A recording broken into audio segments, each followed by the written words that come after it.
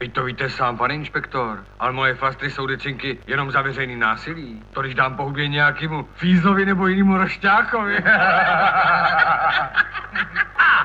Já jsem ji vzal za bradičku, on to policaj. To se lidi nevidí.